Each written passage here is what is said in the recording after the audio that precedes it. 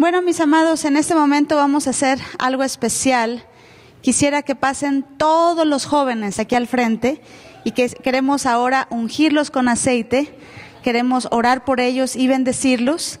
Sabemos que ya está por terminar el año escolar y queremos que ellos den un paso a otra etapa.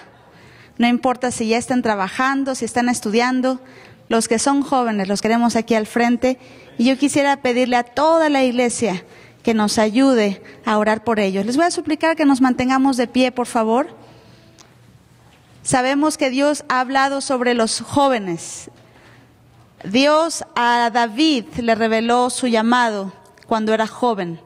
A José le reveló su llamado siendo joven. Al rey Saúl le reveló su llamado siendo joven. Ellos no tienen que esperar hasta los 40 años ni hasta los 50 años para saber qué es lo que Dios quiere para ellos. Y en el momento que ellos sepan cuál es ese llamado, va a haber una pasión, una dirección que los va a mantener enfocados y Satán no los va a poder desenfocar. Y yo quisiera que nos pongamos de acuerdo, Alonso debe de estar aquí al frente, yo quisiera que nos pongamos de acuerdo todos en que a estos jóvenes a temprana edad Dios les muestre qué es lo que Él quiere que hagan, que se los diga Él. ¿Usted cree que Dios lo puede hacer?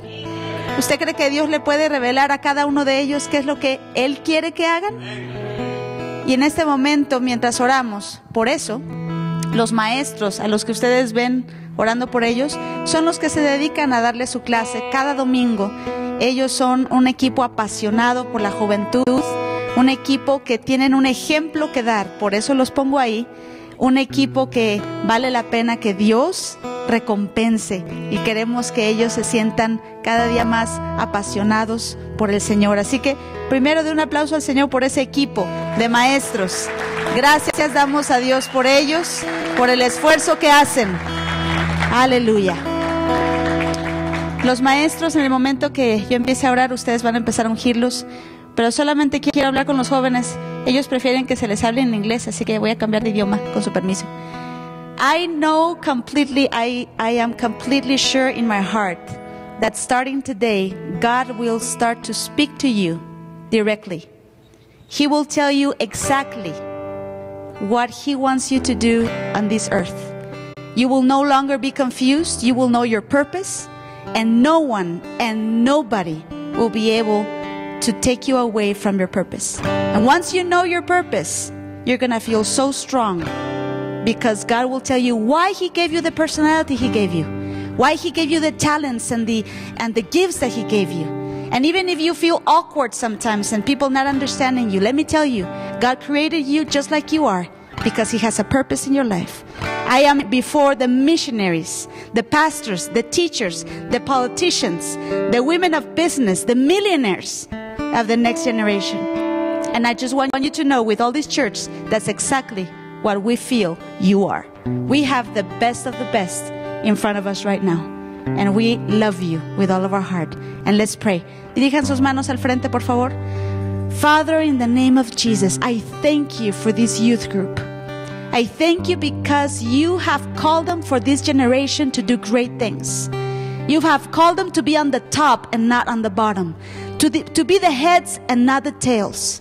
You have called them to reign and govern. You have called them, oh God, to set the example in this generation. And I just pray right now, as we get together as a church, that you will reveal to them what they are to do that you will call them as you called David, as you called Joseph, that you will tell them through dreams, that you will tell them through visions, that you will speak to them directly and show them their path. We don't have to wait and we don't want to wait until they're 40 years old or 50 years old. We need your voice now for this group. And we anoint them right now with oil. And we set them apart for your kingdom. And we set them apart for your calling and we set them apart and we declare that the devil cannot touch them, he cannot get near them. Nothing that the devil does will prevail against them because they are yours. They are yours. Speak to them, oh God. I declare everyone to be healed in the name of Jesus. I declare every one of them Every attack of depression will go now in Jesus' name. You have no power over this group. We declare right now, oh God, your peace. No matter the problems they're going through at home, we declare your peace upon them right now. And we thank you, Father, because Satan cannot touch them. This world cannot pull them. They are protected, they are consecrated, they are saved, they are forgiven, they are loved, they are accepted. And we thank you because our eyes will see your power upon them from now on, from today on.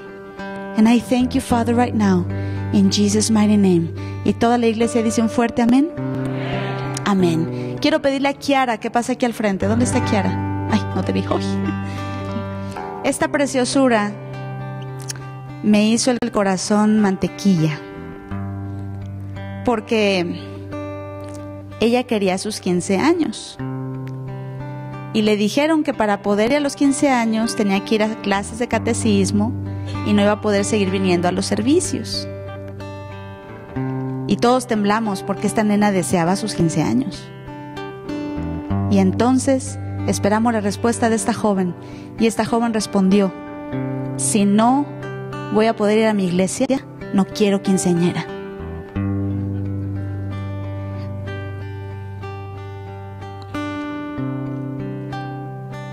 Yo quiero que esta joven sepa que eso derritió el corazón de Dios. Y quiero decirle algo, mis amados, yo ya no caso a nadie. Pero yo le dije a Kiara, tu quinceañera, nadie la va a hacer, esa la voy a hacer yo. Porque yo tengo que celebrar. De un aplauso a esta joven. Yo tengo que celebrar. Yo tengo que celebrar que una joven de esta edad ama a Dios así. Y ahora va a cumplir 14. Los 15 años son el próximo año. Pero yo quiero que dirija sus manos al frente. A esta joven que puso a Dios en primer lugar. Y va a ver maravillas. Padre, levantamos delante de ti a Kiara, tu princesa, y la bendecimos en su cumpleaños.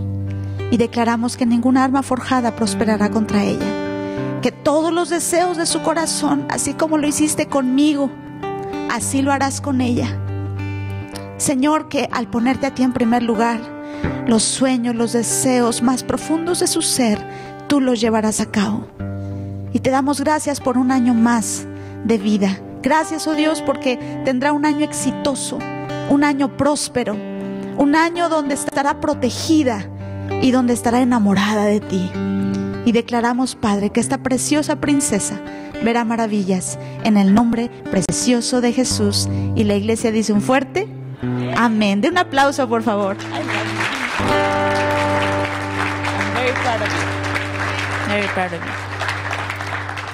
Y tenemos aquí a una preciosa joven que Dios ha puesto en mi corazón poner esto en sus manos.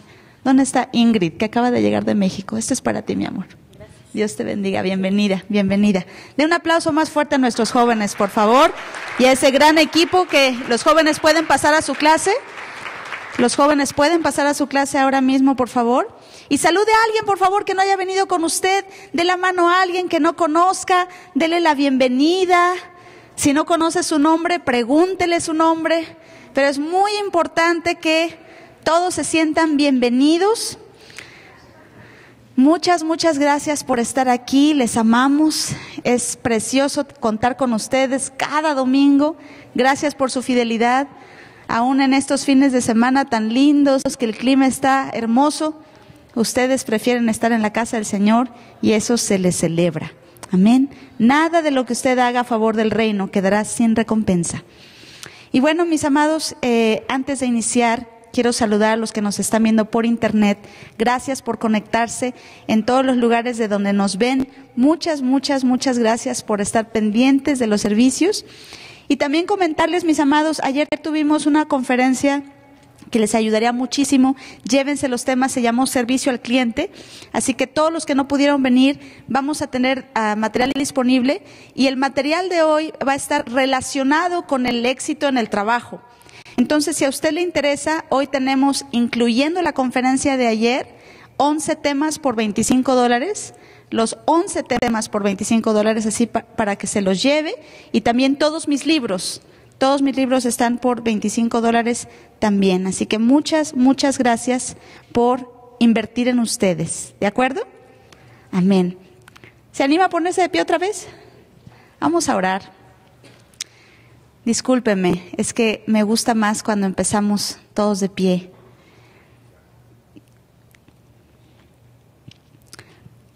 Hay una presencia de Dios muy especial aquí en este lugar y yo solo le pido que no se distraiga. Usted va a salir sano, salvo, limpio, perdonado.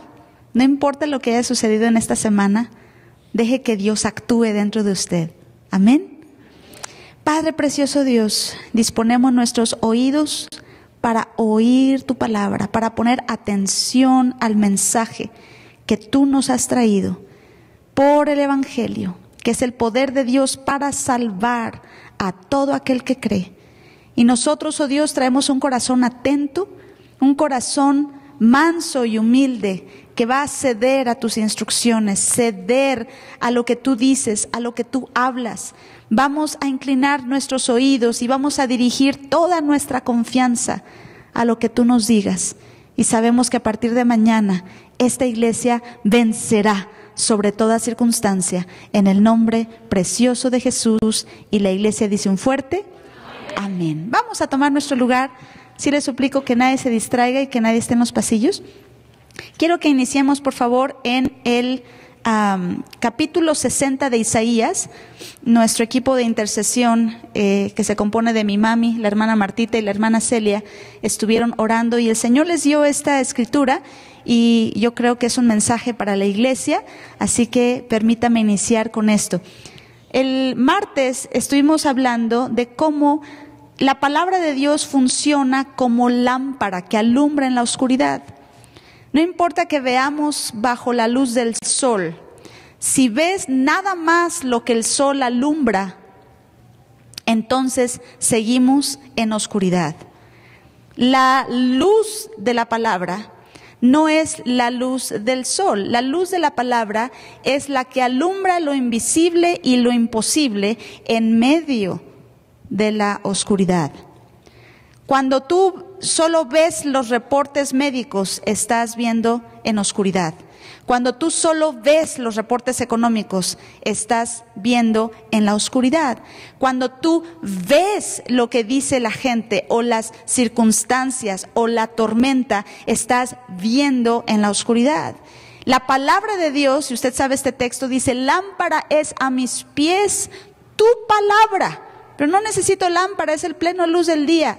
Dios a la luz que no es su palabra no le llama luz, seguimos en oscuridad.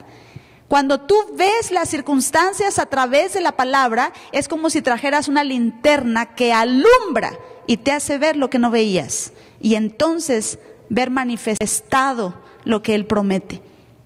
En el capítulo 60 de Isaías, en la traducción Reina Valera, dice, levántate, resplandece, porque ha venido tu luz y la gloria de Jehová ha nacido sobre ti.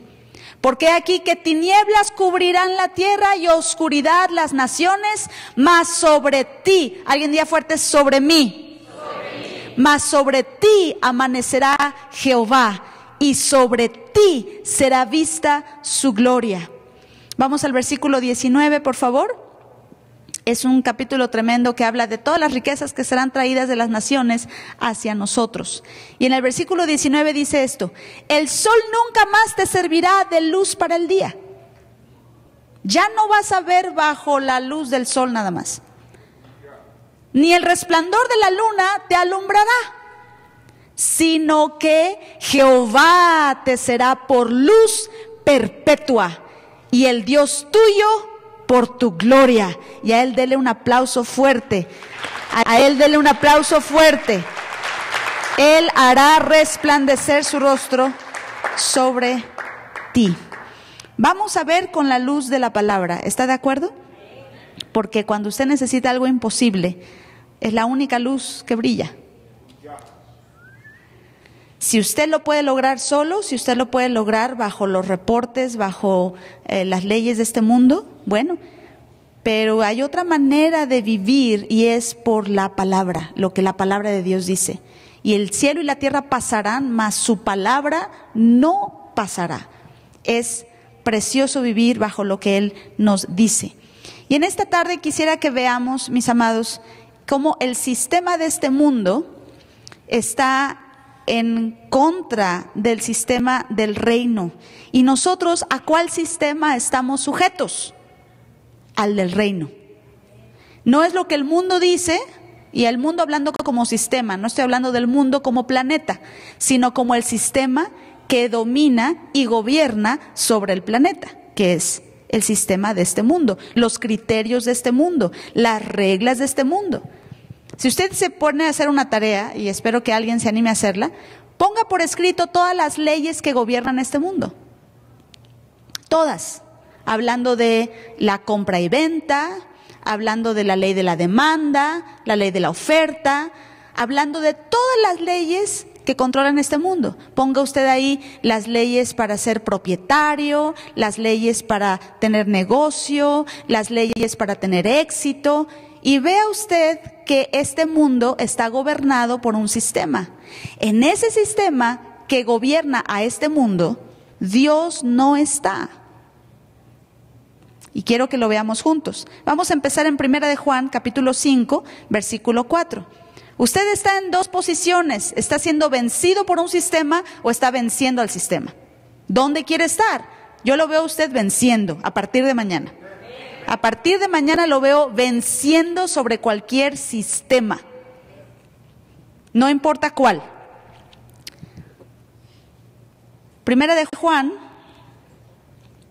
capítulo 5, versículo 4 en la traducción Reina Valera, dice, porque todo, diga fuerte, todo, porque todo lo que es nacido de Dios, y vea bien que no dice todo el que es nacido de Dios. En este texto dice todo lo que es nacido de Dios. Entonces no nada más está hablando de los que hemos nacido de nuevo, sino de todo lo que Dios trae, todo de lo cual Él es la fuente. Ustedes saben que de Él nacen muchas cosas, como la fe, como el amor, como el poder, todo lo que nace de Él, todo aquello en lo cual Él es el, origen, el que lo inicia, el que lo produce, el que lo trae, todo lo que Él tiene, su carácter, sus atributos, su poder, todo lo que Él da para ayudar al ser humano, sus misericordias, todo lo que nace de Dios tiene la capacidad de vencer un sistema. Y el sistema que vence es el del mundo. Todo lo que es nacido de Dios vence al mundo. Y esta es la victoria que ha vencido al mundo, nuestra fe. Cuando nosotros tenemos conocimiento de todo lo que nace de Dios, de todo lo que viene de Dios, y soltamos nuestra confianza hacia eso, entonces el resultado será la victoria. La victoria que vence al mundo es que tú creas, confíes y tengas fe en todo lo que nace de Dios. Que ahí esté puesta tu esperanza, ahí pongas toda tu expectativa y ahí esté toda tu persuasión. Juan 14:30, por favor, en la traducción Palabra de Dios para Todos. Usted verá que el sistema de este mundo está bajo el gobierno de Satán. ¿Podremos vencer un sistema que está bajo el dominio del diablo? Algunos están dormidos. ¿Podremos vencer un sistema que está bajo el dominio del diablo? Pues más vale que tengamos más que un amén y tengamos una palabra de parte de Dios que lo respalde. Y si la tienes exactamente conforme a tu fe, te será hecho. Juan 14:30 en la traducción Palabra de Dios para Todos dice, no estaré hablando mucho tiempo con ustedes porque viene el que manda. Diga fuerte, el que manda. Viene el que manda en este mundo. Y si usted ve las referencias, se está refiriendo a Satán. Viene el que manda. ¿Quién manda en este mundo? Satán. Ah, caray, pastor, pensábamos que Dios. La Biblia dice que el príncipe de este mundo, el diseñador el que está detrás del sistema, del sistema que establece tu sueldo por hora, del sistema que te dice que solamente puedes ganar tanto sueldo de acuerdo a tus capacidades, el sistema que te esclaviza y te tiene pagando deudas y ganando poco, el sistema que te dice no puedes ir a la iglesia los domingos porque tienes que trabajar, el sistema está bajo Satán. ¿Y cuál es el único motivo detrás de las acciones del diablo? Es que nunca le demos a Dios lo que le pertenece, que nunca le demos a Él lo que le pertenece. ¿Qué le pertenece? Nuestra alabanza, nuestra adoración, nuestra honra, nuestras ofrendas, nuestras finanzas, nuestra vida, que nos presentemos a Él como sacrificio vivo. Satán va a hacer lo que sea para que no sirvamos al Dios nuestro. Entonces, ¿hay alguna solución para nosotros? Claro que sí. La palabra de Dios dice, todo lo que es nacido de Dios vence el sistema gobernado por Satán. Y esta es la victoria que vence nuestra fe. Que todo lo que ha nacido de Dios, yo lo conozca y suelte en esa dirección toda mi confianza. Y no importa qué sistema que a lo mejor ante los ojos no tiene nada de malo. Oiga, ¿qué tiene, algo, ¿qué tiene de malo que usted tenga que comprar algo para adquirirlo? ¿Qué tiene de malo que usted tenga que vender algo para tener dinero? No tiene nada de malo, no. Nada más que es un sistema puesto por este mundo. No es una idea divina. Entonces, si no va a ser así, ¿cómo vamos a obtener? No es la única manera comprar. ¿Sabían que no es la única manera? Leyendo el libro del doctor Terry Mice, que cómo le suplico que lo adquieran, que se llama Más que Vencedores. Él va a estar aquí con nosotros el 14 de julio, por cierto, para que lo tengan en su calendario. Y el doctor Terry Mice dijo algo que por fin en, alguien puso en una frase, lo que he vivido desde que conocí al Señor. Alguien le dijo, oye Terry, si tú lo que quieres es dinero, él iba a sembrar algo, creo que era un vehículo. En lugar de sembrar el carro, ¿no sería más inteligente, en lugar de que lo dones, no sería más inteligente que lo vendas? Porque si lo vendes, vas a tener el dinero que necesitas para irte a las misiones. Pero si, si lo donas o si lo siembras, ¿con qué te quedas? Y entonces él contestó algo que resumió la pasión más intensa de mi ser, que es dar. Él dijo, yo no vivo por la ley de la compra y venta, yo vivo por la ley del dar y recibir. Yo vivo por esa ley. Ah, caray, ¿se puede vivir por otras leyes? Una las pone el mundo, otra las pone Dios. Si tú vendes algo, tú vas a ponerle ese precio. Pero si tú lo siembras, Dios te da cien veces más. Son leyes. Ahora, yo no estoy aquí para decir que lo tiene que creer. Yo le estoy anunciando lo que la escritura dice. Usted es responsable de lo que hace con el anuncio. Pero yo lo he probado y funciona. Es algo maravilloso. Y eso es lo que vence al mundo. Que tú conozcas las leyes del reino y sean esas las que te gobiernan en lugar de que te dejes dominar por el sistema del mundo. Porque ese sistema está bajo Satán. Quien te quiere pobre, esclavizado, él quiere robar, matar y destruir, él te quiere enfermo, él te quiere con problemas económicos para siempre, él te quiere conforme a un sueldo miserable. Ese sistema es el del mundo. Y Dios ha dicho, la fe es la victoria que vence ese sistema. ¿Están aquí? Juan 16, 33 Dice, estas cosas, está bien la traducción de Valera, estas cosas os he hablado para que en mí, ¿dónde? En mí, ¿dónde? En mí tengáis paz. Lo voy a leer de otra manera. Estas cosas les he hablado para que en mi palabra tengáis paz. ¿Tengo la autoridad del texto para hacer ese cambio? Claro que sí. Es Jesús de Nazaret hablando. Y en Juan 1, 1 dice, en el principio era la palabra y la palabra era con Dios y la palabra era Dios. Tú, puedes ponerle a él Jesucristo y le puedes poner la palabra y estás hablando de la misma persona. Estas cosas os he hablado para que en mi palabra, ¿dónde está tu paz? Tu paz está en su palabra. En el mundo, si te sometes bajo el sistema que gobierna este mundo, ahí tendrás aflicción. ¿Y dónde está tu paz? En su palabra. Jeremías 1.12, por favor, si me lo puedo poner, dice que Él vela sobre su palabra para ponerla por obra. Si en una situación difícil tú pones una palabra, pones lo que va a vencer el sistema del mundo. Y si tú te sometes y te cubres bajo esa palabra, esa palabra te dará paz, no aflicción. Ay, pastora Ana, yo me la paso afligido. Pues ¿dónde estás? Porque si estás en Él, hay paz. Si estás bajo el sistema del mundo, ahí hay aflicción. ¿Dónde estás? ¿Dónde estás?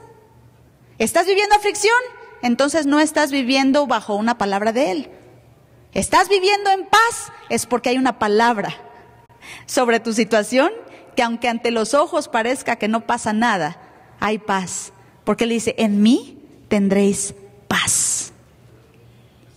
Estas cosas os he hablado para que en mí, en mí tengáis paz. En el mundo tendréis aflicción. Ese es el propósito del diseño del sistema de este mundo, la aflicción. Este sistema oprime y aflige. Y luego dice algo el Señor, pone un pero tremendo. En el mundo tendréis aflicción, pero, ¿y qué hace el pero? Ayúdeme, ¿qué hace el pero?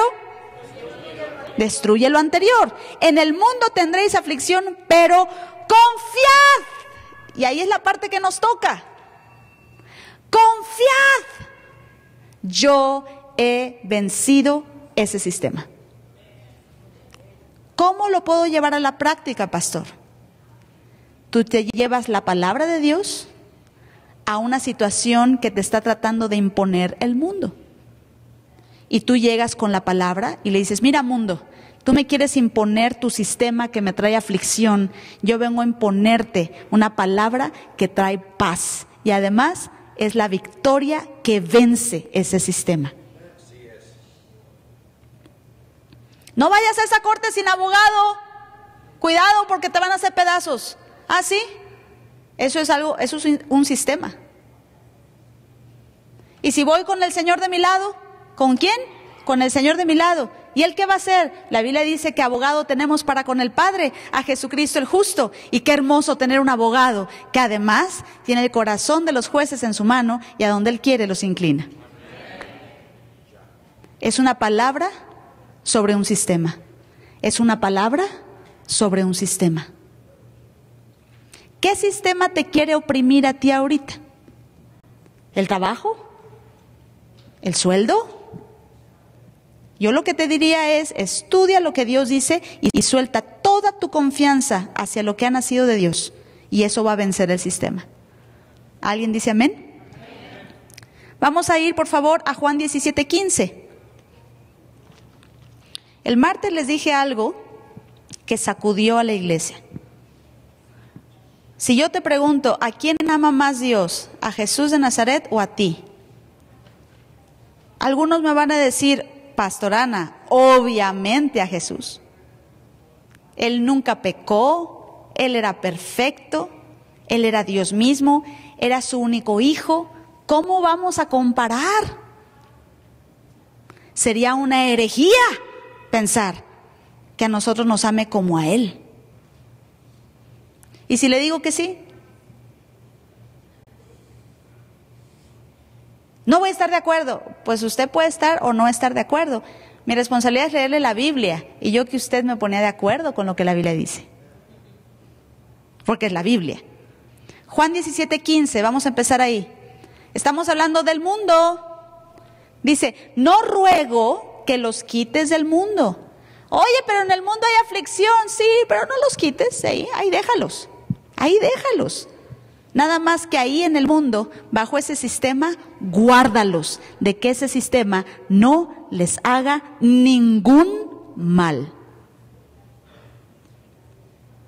Qué bien se emocionan. No, pues yo por si por si ya compré seguro del bueno, del más alto. No tengo nada en contra de los seguros, ¿eh? Lo único que sí le voy a decir es, Si usted tiene una palabra de parte de Dios, usted alinea su vida a la palabra de Dios, usted está protegido por encima de cualquier seguro. Y si usted está haciendo la palabra de Dios a un lado, empezando por el diezmo, con todo y el mejor seguro, prepárese para los accidentes. No tengo tiempo para decirles toda la Biblia, mis amados. Usted debe de conocerla. Ahí dice Malaquías 3:10 que Satán está suelto para poder tocar tus propiedades, tus cosas, tu vida, cuando no le damos a Dios lo que es de Dios. Saldría mucho más barato diezmar que estarse preocupando por seguros. Pero es no tener una palabra y dejarnos llevar por un sistema. A cada ratito ando viendo carros chocados. Ay, me, me chocaron aquí, me chocaron acá, me chocaron acullá. No conocen que el diezmo te protege de todo accidente, te protege de todo choque, te protege de cualquier hazaña del enemigo contra tus propiedades. Pero no lo conocemos. Entonces el sistema nos vence en lugar de que nosotros podamos vencer, perdón, al mundo, el mundo está venciendo al creyente. No debemos de ignorar las artimañas del que gobierna este mundo. Amén. ¿Ok? Dice, no ruego que los quites del mundo. Ah, luego me encanta porque dice, guárdalos del mal. El versículo 17, si me lo puedes poner en la traducción Palabra de Dios para todos, por favor. Dice, en el 16, vamos a leer ahí. Ellos no son del mundo como yo tampoco pertenezco al mundo. Apártalos con la verdad para servirte solo a ti.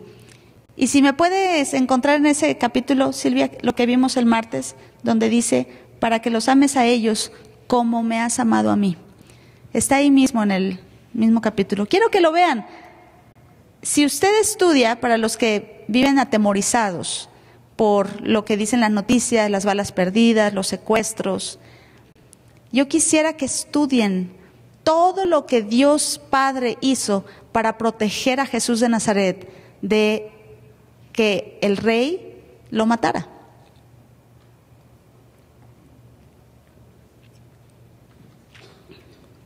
Ninguna hazaña del enemigo pudo lograr que a ese bebé, a Jesús de Nazaret, lo mataran.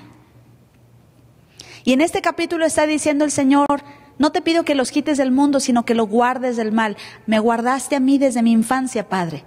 Desde que llegué a este mundo y mataron a todos los niños buscándome a mí.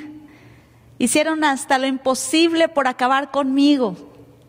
Y tú me guardaste hasta que yo mismo decidí dar mi vida por ellos. Pero me guardaste. Y a lo mejor usted dirá, bueno, obviamente lo va a guardar a Él, pero podemos pensar que hará lo mismo con nosotros.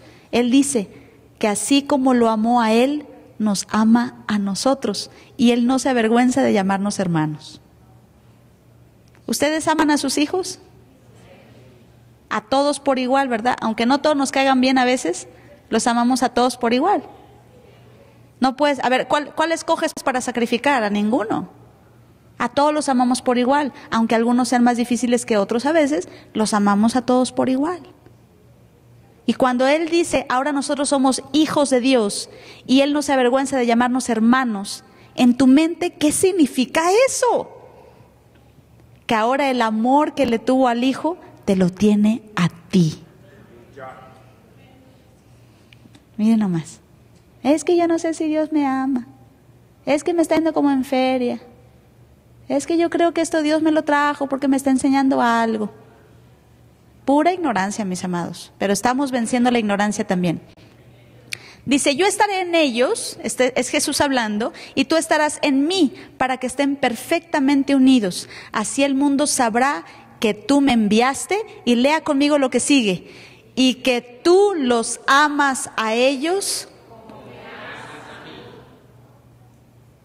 y tú los amas a ellos como me amas a mí.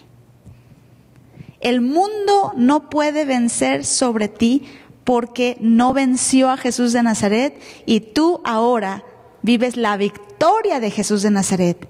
Él fue el vencedor por nosotros y nos hizo a nosotros más que vencedores. ¿Alguien dice amén? Efesios 2.2. Cuando no tenemos al Señor en nuestra vida, el sistema de este mundo nos domina. Pero a partir de que Él con su bondad nos salva, ahora ese dominio termina. Y ahora nosotros solo somos eh, vencedores, nunca más vencidos por el sistema de este mundo.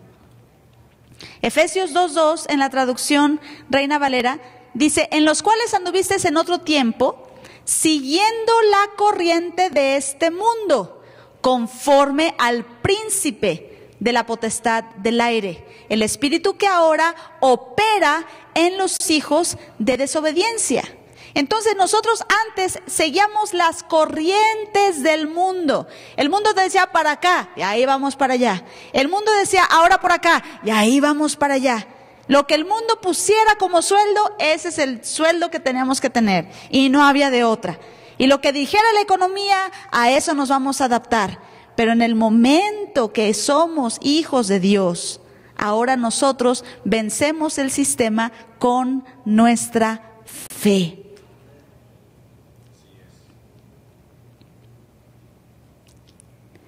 Si quiere irse, por favor, al versículo 12, ah, ahí mismo en el capítulo 2, dice así, en aquel tiempo estabais sin Cristo, alejados de la ciudadanía de Israel. Para los que no saben, quizá todavía no tengan la ciudadanía de Estados Unidos, pero la de Israel ya la tienes eres ciudadano del cielo. No está hablando del Israel natural, sino del Israel celestial. Ahora somos ciudadanos del reino. Y mis amados, ese pasaporte te deja entrar a todos lados. el calor los está adormilando. No, yo quiero el de Estados Unidos. Ese es el que quiero. Y la ciudadanía de Dios no te dará nada no te dará ningún privilegio, ningún derecho. Mis amados, he cruzado la frontera sin papeles y seca, no mojada. Sin papeles y sin problema, confiando nada más en esa palabra.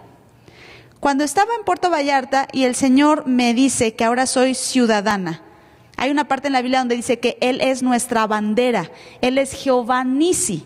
Y yo no digo que eso nos dé libertad para andar como burros sin mecate, pero lo que sí le quiero decir es, si Dios te quiere en las naciones, tú vas a viajar en las naciones y Dios no tiene ningún problema con los asuntos migratorios. Él no está intimidado por eh, la policía de la frontera. Él no está intimidado por, las autoridades eh, migratorias. Si Él te quiere en algún lado, tú vas a llegar a ese lado. ¿Sabes por qué? Porque tú eres ciudadano del reino.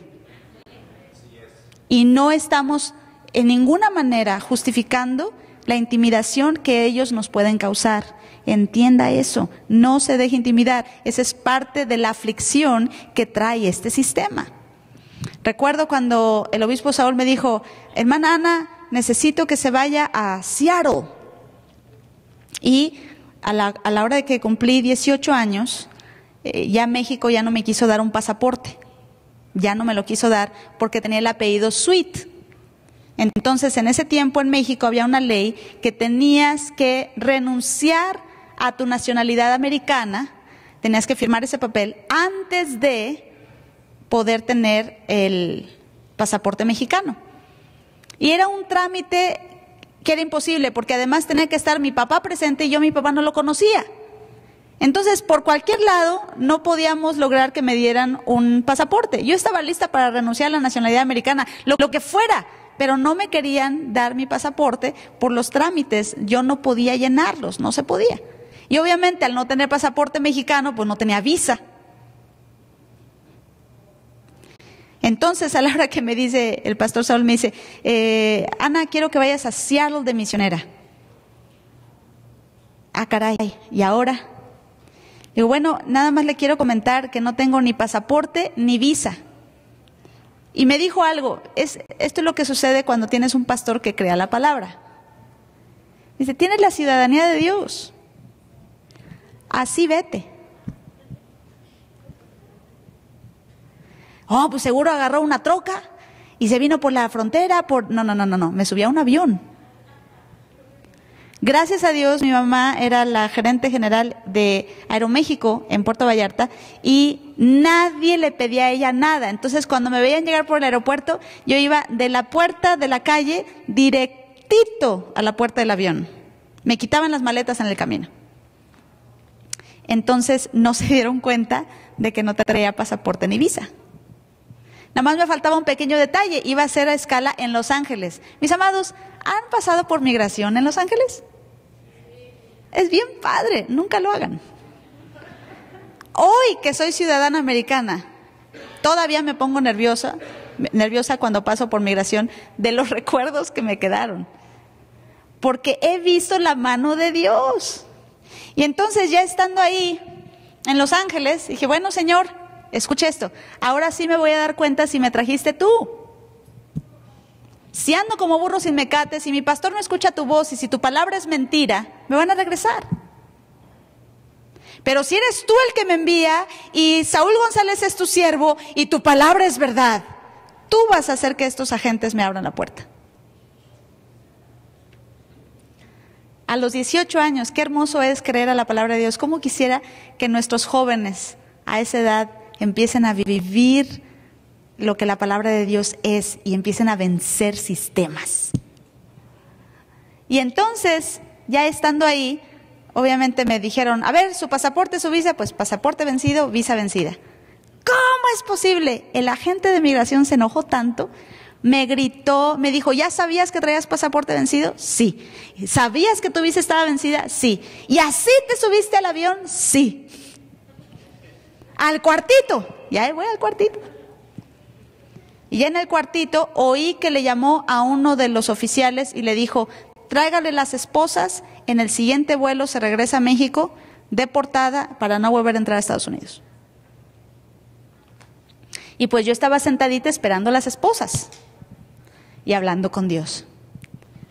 Si tu palabra es verdad y Saúl González es tu siervo y fuiste tú quien me envió y yo soy ciudadana del cielo, estos agentes me van a abrir la puerta. Y rápido, porque mi siguiente vuelo a Seattle salía como en hora y media. Y estaba yo ahí sentadita, regresó el agente de migración, me dejó en la esquina y se fue a otra esquina. Y desde ahí de la esquina me dice, ¿y a qué se supone que ibas a Seattle? De misionera, señor. De misionera. ¿Tú de misionera? Sí. Ah, entonces eres cristiana. Sí, señor. Y se ríe. Mm yo también era. Yo, perdón, sí, yo también era cristiano. ¿Ya no? Bueno, sí, sí lo soy. Pero era pastor, me divorcié, la iglesia me dio la espalda, me sacaron de la iglesia, terminé, me, me dejaron sin nada y ahora estoy aquí. Mis amados, algo me hizo brincar como resorte. De la silla donde estaba hasta el escritorio de la gente, se me olvidó que era una autoridad, se me olvidó que me tenían en la silla del castigo, se me olvidó que venían las esposas, se me olvidó todo. Me senté enfrente de él y le dije, Dios tiene un propósito contigo y no ha terminado y vas a ver a Dios usarte en el futuro. Y se me quedó viendo y empezaron las lágrimas a caer. Y me dice, dame tu pasaporte dame tu, visa y lo sella. Tienes un vuelo a, a, Seattle que tomar, que Dios te bendiga. De un aplauso, aunque sea de envidia, hombre. La fe es la victoria que vence al mundo. No vamos a someternos a los sistemas que este mundo quiere imponer, especialmente cuando estamos llevando a cabo la voluntad de Dios. Nadie ni nada te puede estorbar. ¿Fue la única vez que hicimos eso? No. Otra fue por tierra. Todavía yo seguía sin pasaporte y sin visa. Y otra vez el pastor dice, hermana, va a haber un viaje a Dallas, pero ahora va a ser por tierra. Eh, súbase a esa camioneta y vaya de la silla. Señor, nada más que yo, hay un detalle. Todavía no tengo ni mi pasaporte ni mi visa. Y se me queda viendo, como diciendo, ¿otra vez? Y yo, ay, de todos modos me voy. Ok, Vamos de la camioneta. Llegamos a la frontera después de 17 horas y yo solamente veía una bandera grande, grande. Y había un canto precioso que tocaban, tocaban en Vallarta que decía, Jehová Nisi es nuestra bandera. Jehová Nisi es nuestra bandera. Y veía las banderillas de nuestros países así chiquitas, pero había una bandera grande, grande que se movía como diciendo, el único que abre puertas y cierra puertas en tu vida es Dios. Y ese es un texto, si se animan a buscarlo. El único, el único el único. Este mundo no tiene el poder para abrir y cerrar puertas. El, único, el único que puede abrir y cerrar puertas en tu vida es Dios. Así que si vas a un trabajo y te dicen que no, levantas tus manos y dices gracias porque tú cerraste la puerta. Pero cuando Dios te quiere ir, no va a haber quien te la cierre. Y uno descansa. Porque no se siente, ay, me rechazaron, tengo baja mi autoestima, nadie me quiere. No, no, no se, no se anda con esas cosas. Donde me dicen que no es porque Dios me está protegiendo de algo. Donde me dicen que sí es porque tengo un Dios que abre las puertas, que nadie puede cerrar. Y ahí estamos otra vez en la camioneta, en camino. En esta ocasión creo que cruzamos por Nogales. Pero antes pasamos a una ciudad y nos dijeron, miren, ya se está poniendo más difícil migración les recomendamos que Ana se ponga esta ropa. Entonces había unos hermanitos este, bien incrédulos eh, que me dijeron, póngase esta ropa, hermana, para que parezca gringa. Y pues allá en, México los, los cabellitos se me hacían más güeros, pues por el sol y el mar y todo eso, me veía más güera. Entonces me pusieron que, que no sé qué rojo y además una chamara que decía USA. Y decía, ay, así o más, este, bueno. Y entonces yo vi la ropa y me dijeron, y en cuanto nos dijeron que venían con alguien que no tenía papeles, hicimos una mica. Entonces aquí está la mica. Con eso pasa. Ay, qué feo se siente cuando ves cristianos sometidos a un sistema. Da tristeza. Oh, hay que sacar, hay que sacar papeles chuecos en nombre de Jesús. No, usted no se ríe de nada. ¿Qué traen? No, pues vamos a, casarnos con un Mr. Smith para que nos dé papeles, ahí en el nombre de Jesús. ¿Por qué mejor en el nombre de Jesús no crees a la palabra? Y si Dios te quiere en un lugar, nadie te va a cerrar las puertas. Y entonces llegamos y les dije, ¿saben una cosa? Yo quiero darme cuenta si la palabra de Dios es verdad, si quien me envió es un siervo de Dios que escucha a Dios y quiero ver si realmente soy ciudadana del reino. Y aquí se va a notar otra vez. Bueno, usted se arriesga, yo me arriesgo. ¿Sabe qué, hermanos? Es muy hermoso caminar y decir, ahorita me voy a dar cuenta si Dios es mentiroso. Ustedes no se animan a ponerlo en prueba, a ver si es mentiroso. Ustedes dicen que creen que Él es verdad, pero no se animan a poner en práctica sus palabras, a ver si las cumple. Ustedes dicen que lo que la Biblia dice es verdad, pero a la hora de que se ponen difíciles las cosas, no te animas a probar lo que está aquí escrito, a ver si es cierto que es verdad.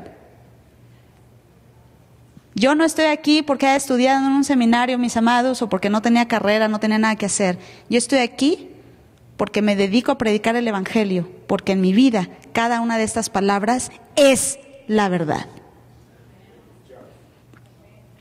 Ya estando ahí en la frontera, sale un oficial y me dice, a ver, sus papeles, ahí voy otra vez, pasaporte vencido, visa vencida y credencial de estudiante vencida.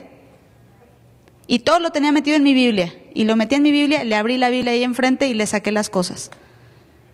Y ahí puse la Biblia para recordar algo visible que diga, entre ese hombre y yo está Dios.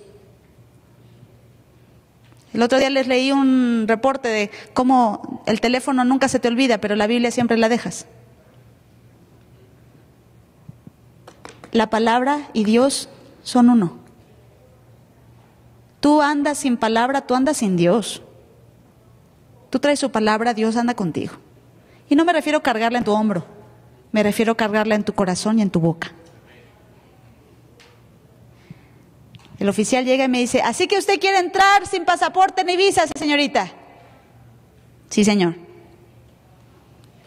Se puso a reír, empezó a soltar esas palabrototas de carretonero y de pronto me apartan de la fila y sale un gordito desde, desde atrás y dice, ¿qué quiere esa señorita?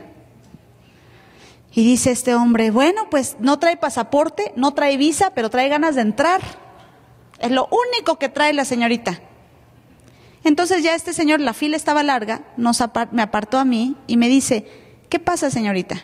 ¿No trae su pasaporte? No, señor. Y no es por negligencia. Traté de hacer las cosas conforme a la ley. Pero este sistema no me quiere dar un pasaporte. Ah, ¿y no le dieron visa? Pues no. Y yo no vengo en un carro por más de 20 horas para que usted me diga que no puedo entrar. Obviamente yo sé que voy a entrar porque Dios me envió, me quiere en Dallas y usted me tiene que dejar entrar. Mm, mire nomás. Así que Dios la quiere en Dallas. Sí, Señor. ¿Y qué va a hacer allá? Tengo una conferencia. Y usted y no se piensa quedar ahí. ¿Yo para qué me quiero quedar si yo no quiero estar en Estados Unidos? Yo tengo mi casa en Puerto Vallarta, es el paraíso. ¿Quién quiere estar en Estados Unidos? A menos de que Dios nos quiera ir, ¿verdad? Y me dice ese hombre, bueno, voltea con su secretaria y le dice, hey, señorita, dele a esta mujer su pase, que no ve que Dios la quiere en Dallas. El otro oficial se quedó con la boca abierta. Ahí no terminó el problema porque resulta que las otras 14 personas que venían con nosotros en el carro no les quisieron dar su permiso aunque tenían pasaporte y visa, que porque acababan de sacar una ley que ahora tienes que también poner eh, comprobante de ingresos. Nadie llevaba comprobante de ingresos. Eran las 3 de la mañana. ¿Y cómo iban a hacerle para llamar a sus empresas, a sus trabajos? En ese entonces todavía el Internet no estaba en todos lados, todo era por fax. No, pues siéntense todos. Y yo ya feliz con mi pase y ahora los demás que sí tenían pasaporte y visa, no les dejaron entrar. Y ahí estoy esperando, digo, ay, pues ¿qué hago mientras? Y veo ahí al fulano que me ladró bien feo cuando pasé, y este. Digo, pues para no perder el tiempo, le digo a uno de los que iba conmigo, vente, acompáñame. Y me acerco con él y le digo, oye, ¿me deja orar por usted? ¿Por mí? Sí, por usted. Está bien, pero aquí no, a mi oficina. Y yo, sáquese que me voy sola. Y agarré a este hombre y me lo llevé conmigo para ir a orar por él. Y ahí en su oficina se sienta en su escritorio, sobre el escritorio, y yo lo alcanzaba muy bien para ponerle mi mano porque estaba muy alto. Y empecé a orar por él, ni me acuerdo qué oramos. Pero ese hombre empieza a llorar. Y se para enojado y me dice, usted me hizo algo. No, yo no le hice nada. Usted me hizo algo y sale corriendo de la oficina y le dice a todos los que estaban sentados, denme sus pasaportes en este momento. Y empezó a sellarlos todos. Váyanse de aquí, por favor. De un aplauso, pues. La fe, la fe es la victoria que vence al mundo. Entonces, en lugar de que usted esté ahí todo aguitado porque no tiene la ciudadanía de Estados Unidos, debería de estar feliz de que tiene la del reino. Y el rey a donde te mande, nadie te cerrará las puertas. ¿Encontraron la escritura? Él es el que abre puertas y cierra puertas, ¿no? Bueno, entonces, mis amados, llegué a Dallas esas son mis experiencias a los 18 años. ¿Usted cree que no me voy a enamorar de Jesús de Nazaret? Yo no ando practicando religiosidades. Yo tengo una Biblia que cuando la pones en práctica te hace más que vencedor. Y no importa en qué área este sistema te quiera vencer, Tú pon una palabra por encima del sistema, suelta toda tu confianza en esa palabra y ve cómo esa palabra te da la victoria. Y de un fuerte aplauso al Rey de Reyes y Señor de Señores. Hoy a las seis y media vamos a continuar. Y si usted quiere seguir edificando su fe, aquí le esperamos a las seis y media. Vamos a seguir con este tema. Y yo sé que usted va a ver maravillas cosas sobrenaturales a partir de mañana mismo. ¿Alguien dice amén? Padre precioso Dios, te doy tantas gracias por esta multitud aquí representada. Te doy gracias, oh Dios, porque la palabra ha sido expuesta, la fe ha llegado y yo sé que van a salir para vencer. Y Padre, ahora mismo, Dios, con toda gratitud, con una palabra tuya, vamos a dar porque nosotros no somos gobernados por la ley de la compra y venta. Nosotros nos gobierna la ley de dar y recibir. Nosotros damos y nos será dado, medida buena, apretada, remecida y rebosante, darán a nosotros en nuestro regazo. Señor, ahora mismo sacamos una medida, porque la medida que nosotros usemos para dar será la medida que te uses para que recibamos. Y vamos a dar en abundancia, esa es la medida, porque en abundancia vamos a recibir. Porque a partir de hoy esta sociedad queda bajo una palabra profética y nos van a dar en forma de promociones, negocios, oportunidades, clientes, cheques inesperados, incrementos de ingreso. Gente que no nos ha querido pagar, yo declaro en el nombre de Jesús que tú los persigues y a partir de mañana soltarán lo que es nuestro y lo pondrán en nuestras manos. Porque hemos puesto una palabra vamos a dar y tú te encargas de que nosotros recibamos. Vamos a diezmar y el devorador queda bajo tu dominio. Tú lo reprendes por nosotros. Y no podrá tocar nuestra casa, nuestras propiedades, nuestros hijos, nuestra, nuestra vida, porque cumplimos con lo que tú nos pides.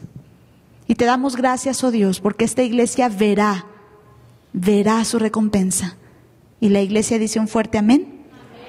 Y la iglesia dice un fuerte amén. Mis amados, vamos a actuar en base a la palabra. Sea sensible a lo que Dios le muestre y haga conforme a lo que le diga en el nombre de Jesús.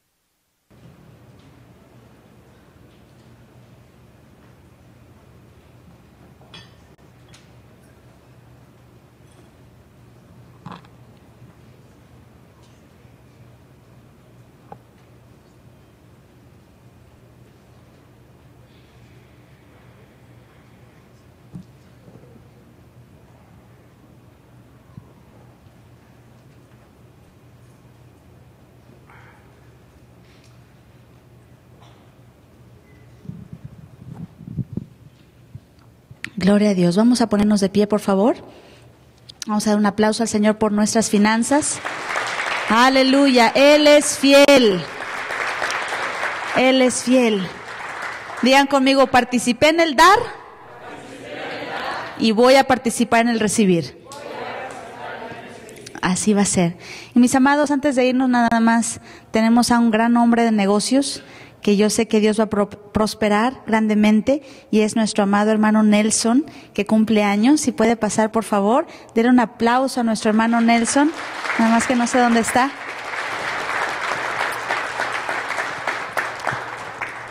Estás muy joven, Nelson, vente, ándale, córrele. Vamos a dirigir nuestras manos aquí al frente, por favor. Es uno de los hombres que cree y yo sé que vienen más negocios que van a nacer de este hombre. Así que vamos a orar por el Padre. Yo te doy gracias por la vida de tu siervo, por estos, este cumpleaños, oh Dios, por este año más de vida que tú le das. Y yo declaro, Padre amado, que una unción fresca para su negocio, para sus finanzas, viene este año. Yo declaro en el nombre de Jesús que tú has elevado su fe y él estará de fe en fe, de victoria en victoria, de gloria en gloria. Y mi Dios, yo te doy gracias por tu bendición sobre su vida y porque Satán no puede tocar su cuerpo, su negocio, su hijo, su familia, porque tú les guardas y el maligno no les toca. En el nombre precioso de Jesús. Y la, y la iglesia dice un fuerte. Amén. Un aplauso, por favor. Aleluya. Iglesia, Dios te bendiga y Dios te guarde. Que el Señor haga resplandecer su rostro sobre ti tenga de ti misericordia y ponga en tu corazón mucha paz. El ángel del Señor acampe a tu alrededor y te defienda. Arma forjada contra ti no prospere. Dios envíe, envíe su bendición en todo aquello donde tú pongas tu mano y te dé a poseer lo que pise la planta de tus pies. Toda tu casa sea salva y tu casa no caiga. Él quite toda enfermedad de en medio de ti, porque por sus heridas tú has sido sanado. Mi Dios pues supla todas tus necesidades sin faltar una sola de ellas, y sea Él que, quien te dé el poder para hacer las riquezas. Y a partir de mañana veas maravillas en el nombre precioso de Jesús y decimos todos un fuerte. Amén. Dios les bendiga, les amamos. Pasen a la mesa de material, por favor. Recuerden, tenemos los 11 CDs por 25 dólares, incluyendo el tema de la conferencia de ayer. Llévenselos. Que Dios les bendiga y les guarde.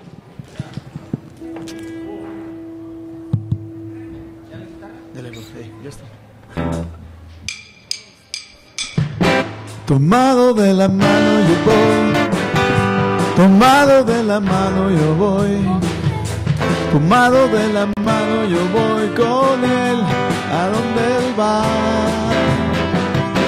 Tomado de la mano yo voy. Tomado de la mano yo voy.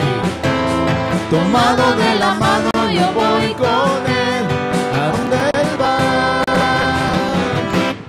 Si Jesús me dice amigo, deja todo y ven conmigo oiré.